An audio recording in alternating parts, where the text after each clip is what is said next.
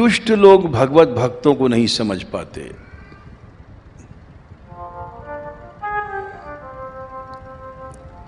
भगवत भक्तों को वास्तव में समझना बड़ा कठिन है। अब चले गए हैं, तब सब देवी देवी कर रही हैं। ने उस समय तो मीरा ने कहा था, लोग कहें मीरा भई बावरी। सब लोग कहते, पागल है पागल है। ये स्त्री पागल है। सास कहे, कुल नासिनी रे परिवार में गाली, बाहर गाली। लेकिन अति निडर। कुछ डर नहीं। दुष्ट दोष विचार। भगवत भक्तों को समझना कठिन है। दोष इसलिए किया कि दिन रात नाचती थीं और सुंदरी थीं, साधुओं में नाचती थीं तो बदनामी तो होगी एक सुंदर स्त्री पुरुषों में नाच रही है उस समय विशेष पर्दा था, जबकि रानी थी। तो बदनामी तो होनी ही है।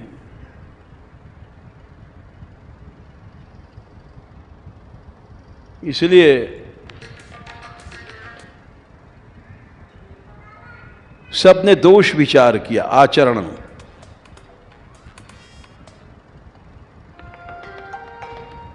और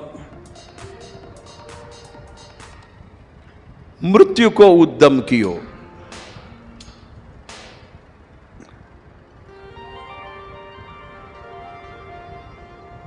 मृत्यु का मारने का प्रयत्न किया।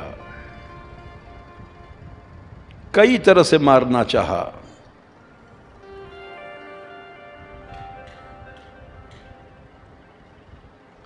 बार न बाको भयो ओहो। एक बाल भी मीरा का कोई टेढ़ा नहीं कर पाया। कितना सत्य था उनमें। एक बाल नहीं टेढ़ा कर पाया। सारी राज शक्ति लग पड़ी।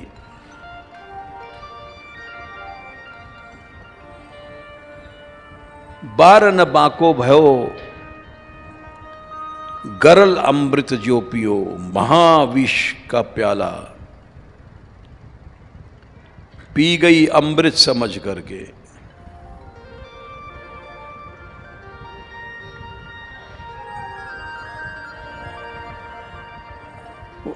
ये उन्होंने स्वयं लिखा है कि मैंने अमृत समझ के पिया, चरणामृत। राणा जी, मैं तो गोविंद के गुण गाना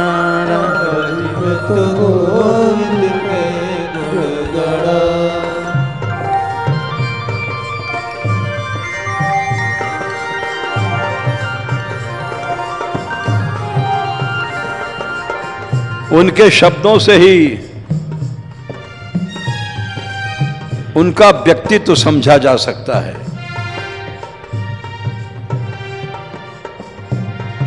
इसलिए उनके शब्दों को ही समझना चाहिए। राणा जी, मैं तो गोविंद के गुण गाना तो गोविंद के गुण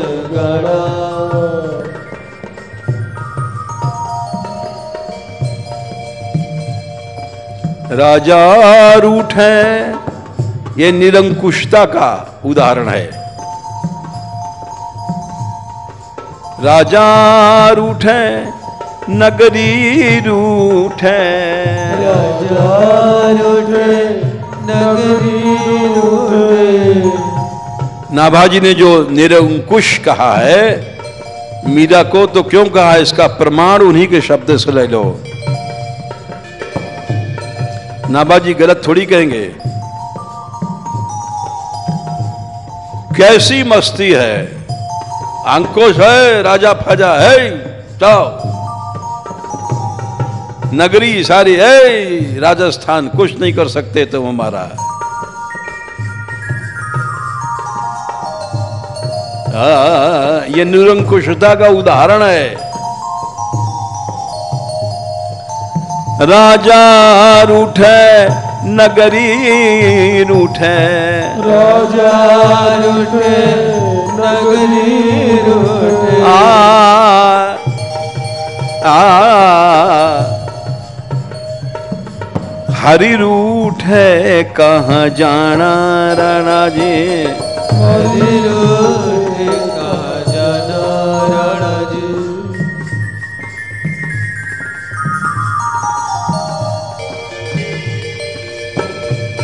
राणा जी मैं तो गोविंद के गुण गाना। राणा जी में तो गोविंद के गुण गाना।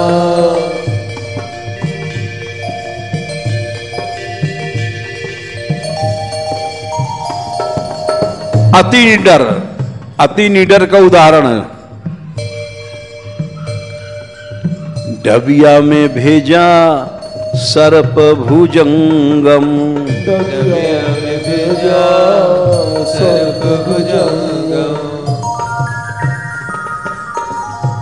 जो नाभाजी ने कहा उसका प्रमाण है,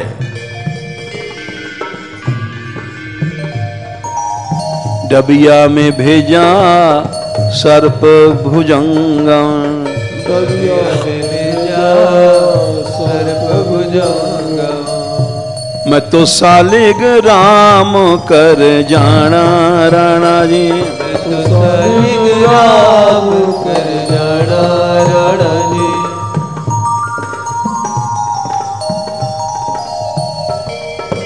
ये ना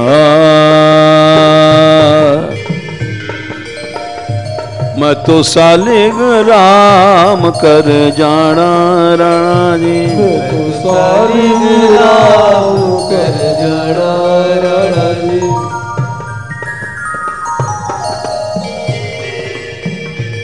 मैं तो गोविंद के गुण गाना राणा जी। गोविंद के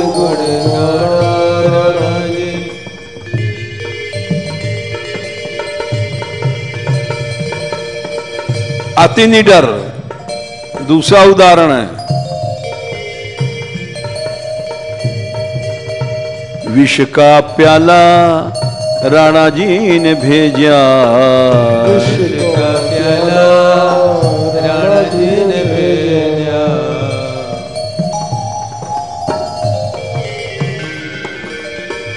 विष का प्याला राणा जी ने भेजा। विश्व का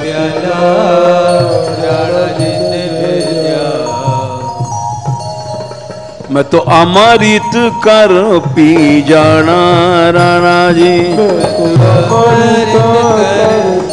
राणा जी।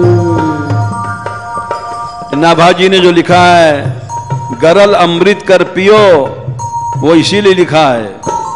इतना विश्वास मैं तो अमृत कर पी जाना राणा जी। मैं तो अमृत कर पी जाना राणा जी।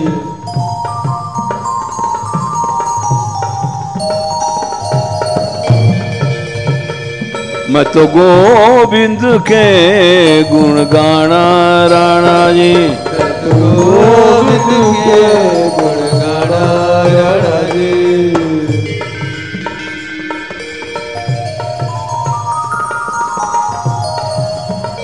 मीरा के प्रभु गिरधर नागर। मीरा के प्रभु गिरधर नागर। मैं तो सावरिया बर पाना राणा जी। मैं तो सावरिया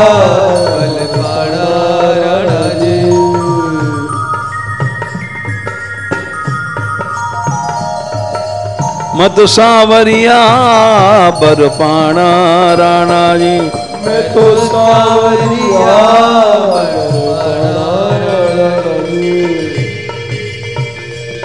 भक्त गोविंद के गुण गाना राणा जी गोविंद के गुण गाना रण जी।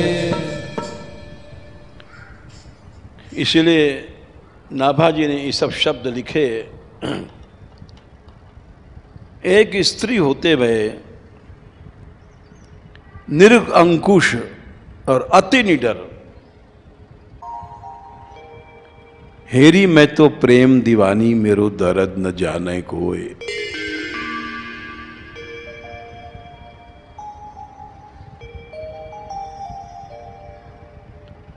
दुष्टन दोष विचार मृत्यु को उद्यम कियो।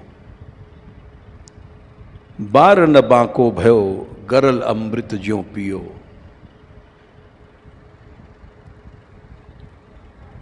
जिस समय उन्होंने विष पिया है, आगे विस्तार से बताएँगे, अभी तो इनका चरित्र चलेगा, अभी तो प्रारंभ हुआ है।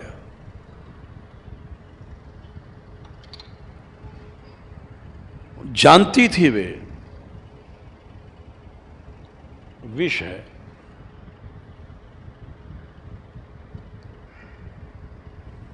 और भक्ति निशान बजाए के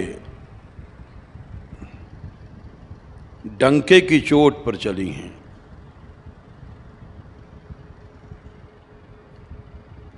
काहू ते नाहिन लजी।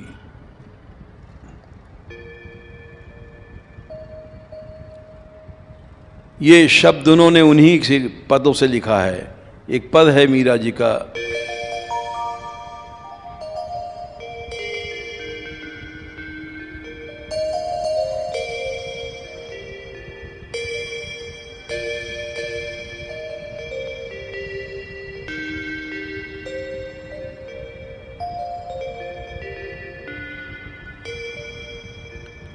उसमें उन्होंने अपनी आत्मकथा लिखी है।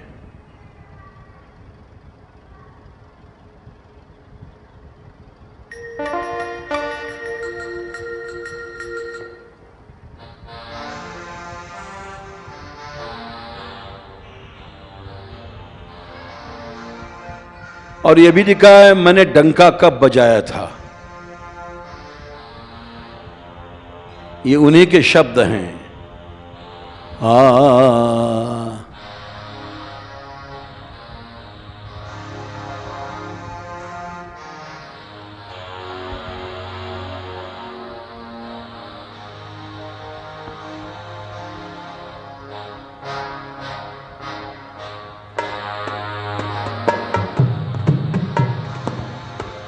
आठवा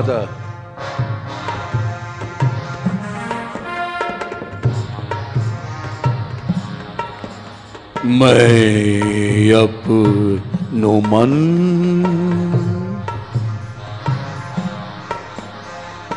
हरे सो जोरियो हरि सो ज़ोर सबन सो तोरियो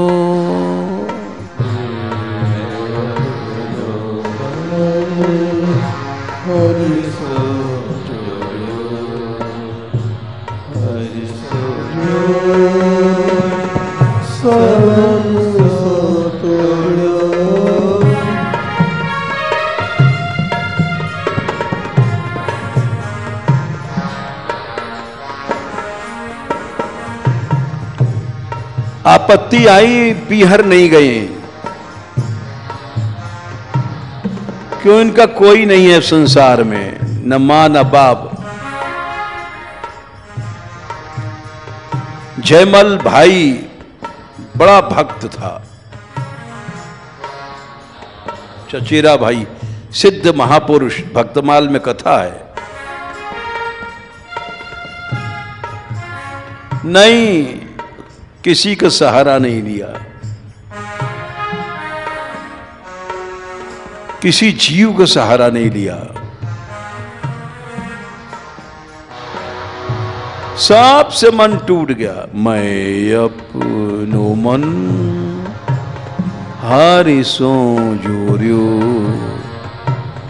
हरि सो ज़ोर सबन सो तोरियो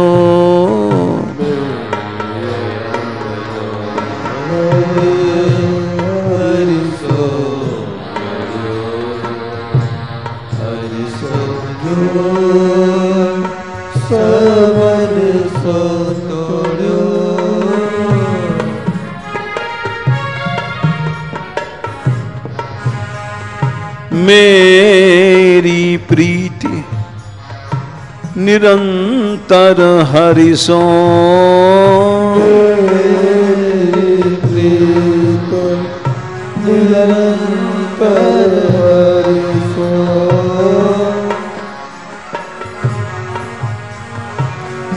ज्यो खेलत बाजीगर घोर्यो।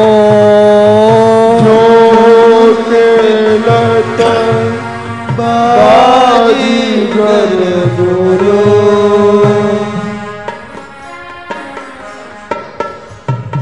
बाजीगर का तमाशा जिसने देखा होगा, वो समझ सकता है। उसमें वो कपड़े से ढक देता है, मिस हिप्नोटाइज करके।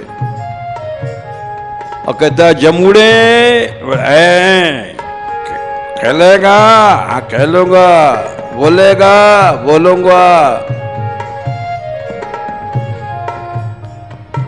मुँह ढका हुआ है ये हमारे पास कौन खड़ा है? बोले लाल बुट शर्ट वाला खड़ा है। ये कहाँ जा रहा है? बोले दफ्तर जा रहा था बीच में रुक गया। सब बोलता है। बोले इसी तरह से मैं कृष्ण रूपी बाजीगर की खिलौना हूँ।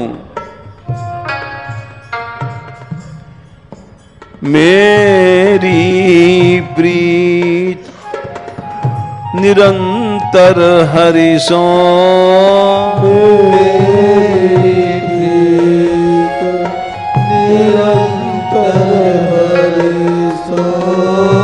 जो खेलत बाजीगर घोरियो खेलत बाजीगर गोरो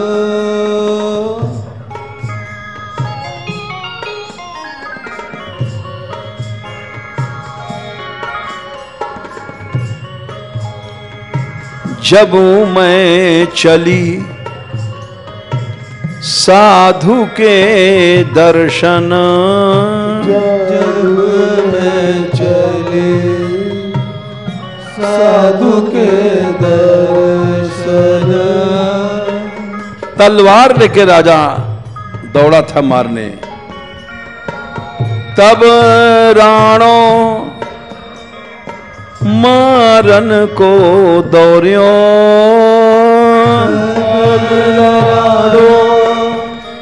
मारण को दौड़ो